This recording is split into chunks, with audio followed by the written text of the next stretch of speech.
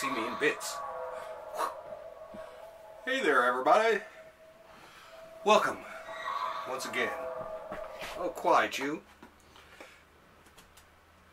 Welcome once again to this great little show you love watching that comes to you from deep within the bowels of downtown St. John's, Newfoundland. That beautiful historic little town in a secret undisclosed location we have for you tonight in the Library of Graphic Literature with your host, me, Wallace Ryan. Whew! Another warm night. The warm weather is still holding out here on the East Coast. Ah, nothing like a sip of tea now, is there? Now, along with that sip of tea, whew, we have a lot of books to uh, go through here tonight. So, um, let's get right to it. Whew, man, it is warm here tonight. Uh, of course, this is Friday night rather than the usual Thursday night, but that was because, as you all know, living out here in this quiet little island hidden way out in the North Atlantic, sometimes we don't get our comics, usually because of a holiday or if the ships aren't running because of high winds or high seas or if there's a snowstorm or oobleck, who knows, right? Falcon infestation, any number of reasons. Uh, whale attack, you know, or uh, beer invasion by bears. Sometimes it happens. Yes. Or terrorist actions by moose. Always happens. Anyway, this week has been a good week for comics and for books. And I'm just so excited. I just can't get to it. I just can't get to it. I just can't get to it. Well, yes I can. Okay, first off, here tonight, and this sending out to my buddy Jason Lutes, who of course is responsible for the classic Berlin. Doom, doom, doom, doom, doom, doom, doom, doom, doom, doom. I do have uh, some of the issues that made this up.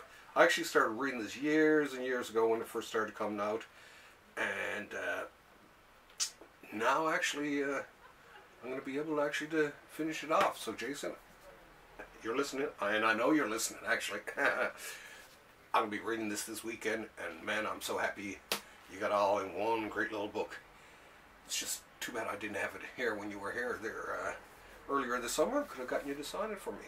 But of course, we'll have you back sometime. Anyway, uh, Jason Lutes, Berlin. Highly, highly, highly recommended. I love black and white artwork, of course. He's a great little style to him, too. I love his, uh, it's a neat strip back style. And we, uh, as a matter of fact, I shared the stage here with Jason back in uh, June.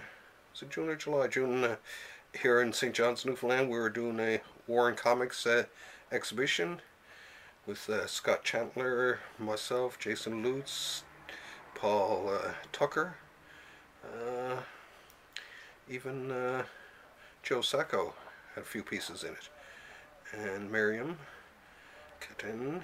So uh, yeah, it was a great time, and uh, I got to see some of his artwork, and actually had a grand chat with him too.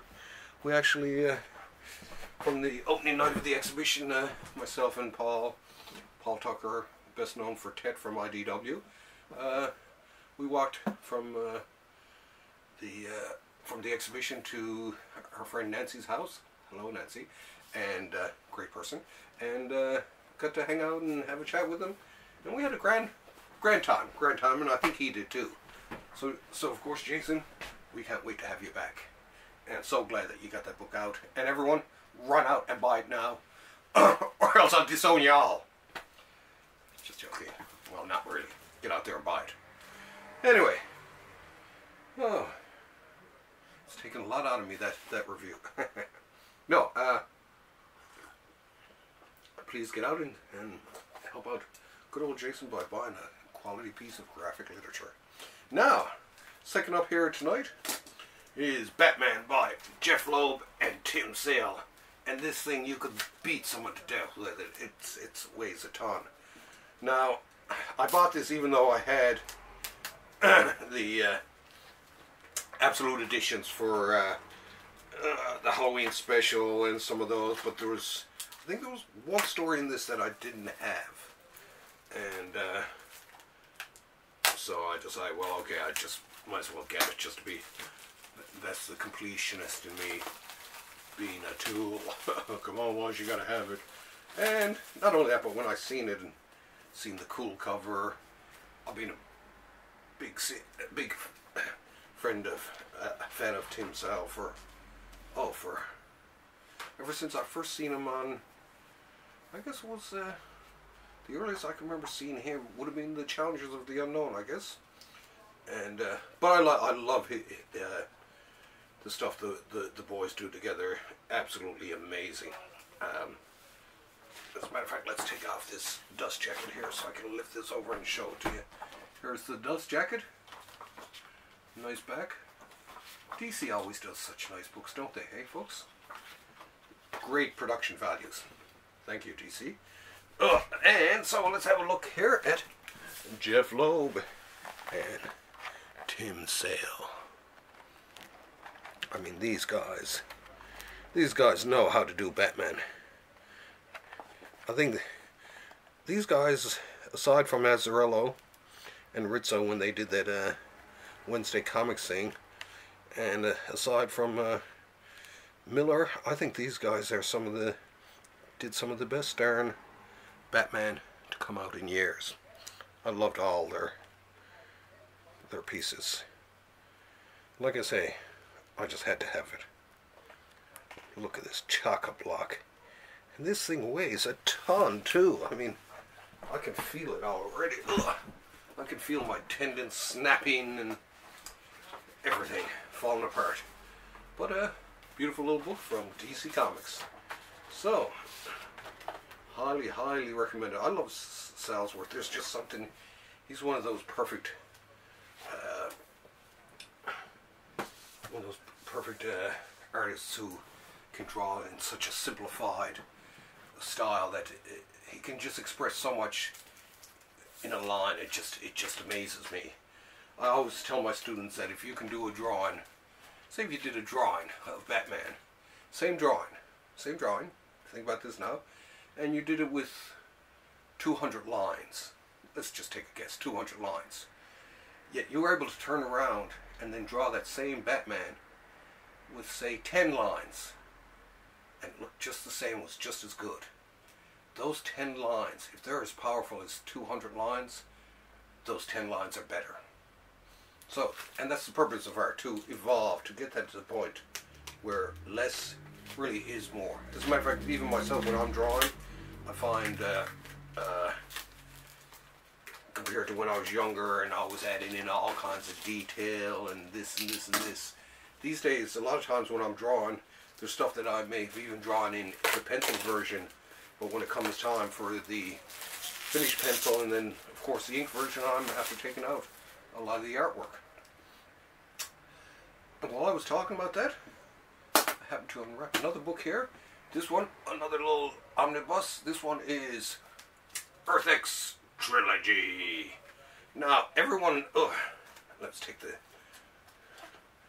oh yeah, nice little uh, cover with a graphic on it. Look at this, nice, nice, nice, nice, nice. Um, I can remember when this came out too. Um, actually, I didn't mind this, you know, uh, although myself and most people tend to like the to like the first series the best. Um, Universe X and some of those other ones, I find a lot of people aren't aren't as big on as the the original one. But I mean, I'd read it and I kind of liked it, so when I seen it, of course, coming out, it was just like, well, this is one I don't have, so let's give it a shot. So it's it's more or less uh, this is more or less um, Marvel's version of Kingdom Come, which of course was a great comic. Pardon me while I touch the sky and have some tea. Gobble, gobble, gobble, gobble. So, um, so yeah, this was kind of like Marvel's version of it. Like I say, it started out good, but most people, even myself, will will say that the original series was probably about the best, best of it. And of course, had some great covers by uh, by Mr. Ross, and I actually liked. I like this. I like the artwork. There's a simple simplicity to it. It's absolutely wonderful. And as a lot of you know, I mean, I like I like uh, complicated things. Don't get me wrong. I I do like intricate artwork and all that. But over the years, I came to really. The older and older I get, I, I think it's like the simpler and simpler the art I want to see gets. But yeah, looks pretty cool. Now, I will give this a read because I've only read actually the first, uh, the first series and all that. So just to see if what everyone says about the rest of it is true, I'll give that a read too. So that's Earth X trilogy. Whew, uh, let's toss that one down there. What else do we have here today? Oh yes, oh yeah. From my good buddy Craig Yoe. Hey Craig. From my good buddy Craig comes another one of his ingenious pieces. Super weird heroes. Doom doom doom doom doom doom doom. I love his stuff. I love the back to the. I mean, he he he, he definitely chan channels the '60s, bit of '60s DC here. Um, but yeah, he does these great. Uh, as I've said many times before, to me, Craig is is like one of the premier. Uh, he's more like a. When I re read his collections and all that, it's it's like you're reading, or you're looking at a, a finely curated book of comics. It's, it's, like seeing a great art show, uh, wonderfully curated and all the great paintings fit together, whatever the theme is, yada yada yada. And that's, that's the same I've always found with uh, Craig's books. His uh, his choice of all the different heroes, putting them together, they somehow they all work. Uh, it was like his uh, the Nazi one he did there uh, a couple months ago uh, with with basically a, a, lot of the well the anti-Nazi thing, um, and it was great. It had like a lot of a lot of modern work in it and all that, and just reading through it really gave you that feeling for uh, for the subject. Um, now with these, of course, love these. Bit of Reed Crandall and all that. The um, like I say, super weird heroes. Of course, it's all in the the, the title. Super weird heroes preposterous but true, as Craig has here on it. So he has heroes from uh, Hypnox, Twilight and Snoopy, and that's not the dog, Mr. Muscles, The Zebra, Tomboy, Pat Parker, War Nurse, Mr. Whiskers, and many, many more. So uh, let's just have a quick, quick glance in here. See, okay, Airmail, Barracuda, the Black Dwarf, Boomerang, the Bouncer, Dollman. I always liked Dollman actually. The Eye. So, like I say, these, and it's funny, and I've said it before. Uh, when I was when I was a young kid, I always I just couldn't get the golden age, and to me, it was just like, oh, these people are terrible artists. Just you know, they can't draw as good as today's artists. Blah blah blah blah blah. Uh, but as I got older, I began to gain an, an basically an appreciation for a lot of the older stuff, and it's it's because of actually it's because of people like Craig and the type of books that he puts out that have actually really stoked my love for the golden age of comics. Good old golden age. Here we go, folks. Let's have a quick look through here. Like I say, farly curated. The Lone Warrior. I love some of the names. Mother Hubbard. Mr. Whiskers, that's one of my favorite. Music Master, The Pied Piper. Where does it end? Rackman. The Scarab. Sparkman. Spider Woman. No relation to Marvel Spider Woman, of course. But um, so yeah, like I say, I love uh, love anything from Yoe books, make mine Yoe. Remember that. And not only, like I say, not only pick up these, have a look at his catalog. He has some really, really great collections out there. Whew. One moment, please. Ready, set. Oh, it takes me back. That's why I love this spinner rack. It takes me back to the to the years as a kid when I bought my comics from something very similar, obviously, to this. Anyway, let's get to this because we're we're eating up time here. Uh, actually, let's let's try a few. Okay, here. Now this is another fine book from Boom, Boom, Boom. Uh, been loving these Boom books. Uh, very, very nice. Uh, very nice reproduction. Great, uh, great production values here. Uh, very well done, all in all. Uh, so Ross and uh, all you there at uh, Boom Studios, congratulations. Keep up the great work. Um, but yeah, it's it's it's kind of neat the uh, to be able to have. Uh, this is why I'm so excited for the Savage Sword of Conan, which is going to be coming out in uh, omnibus form from Marvel Marvel Comics in the new year. Uh, I was a huge fan of all the black and white magazines Marvel put out during the 70s. So, but this one now, I didn't read the uh, the Planet of the Apes, but people have said you should give it a try. So, I'm giving it a try. So thank you, uh, Ross and the boys. And uh, here's a quick look. Oh, look at this. Alfredo El Alcala. Great artwork in, in all the magazines, right? Let me dig this, man. Dig it. Are you digging it? Can you dig it? Can you? Are you digging it now? Are you grooving on the graphics?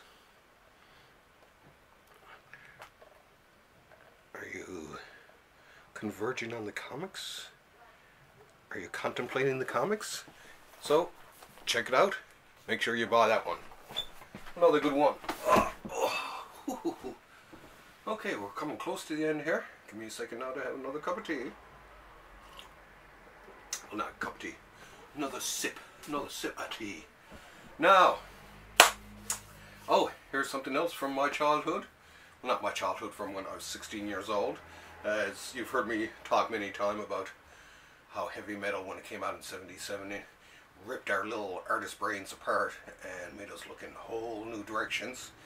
Uh, and it's people like Druillet and uh, Moebius and all, all them who made us realize that we were right when we thought, even as, as young teens, we thought of comics, myself and my friend Jerry, when we were doing comics together, we thought of comics as art and was proof to us. Uh, not that we needed proof, we knew we were right. but, I mean, um, absolutely insane art. Check this out. I mean, come on. And the other thing, too, about a, lo a lot of this art you see from uh, from Dr Druillet and some of these other people, I like showing it to some of my students, too. Just because it's so different. And that I mean, panels like, like this there. Look at that. I mean, that's all hand-drawn, too. Even when he'd do concentric circles and all kinds of cool design work like this there, none of that is done with, that's all done by hand. That's what was so cool that they, back in the 70s, were able to do cool effects and stuff like that by hand. He did, Druillet didn't need no Photoshop. This, I'll always forget, that, I'll always remember this Erm. This was produced in, uh, I think this was in black and white when it was in, uh, when it was in heavy metal. I seem to remember it that way. I mean, look at this. Come on. I mean, really? Look at that. I mean, that is just absolutely mind-blowing. And this is all done with ruler, pencils, pen, and imagination. Look at that. I mean, those circles. People think, oh, great circles. Done by Illustrator. No, it's all done by hand. So, Another big favorite of mine, Yragael Erm and Erm the Mad from Druillet. One of my favorites. Whew. Starting to lose it here. Melting! Melting! Okay. One of the last new books, at least for uh, today. This is the Moon Knight collection. I had a lot of people who uh, recommended it this to me. Of course, it being written by Jeff Lemire, a lot of people thought uh, that I should pick it up, and so a lot of times I'll, I'll listen to uh, recommendations from friends of mine, stuff like that, and uh, I'll give it a go, depending on uh, depending on a recommendation. So this this looks pretty good. Let's see. It's uh, it's Lemire and Smallwood. Steven Grant, artists. Jake Lockley, artist, Francisco, and this was apparently he, uh, he had other people who helped him draw it. They would draw certain characters, I guess, or certain scenes, or. But anyway, it, it sounded cool whenever they, they mentioned to me, so it was just like, I gotta check this out.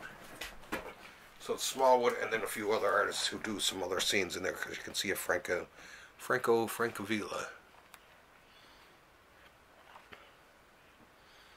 There we go, like that.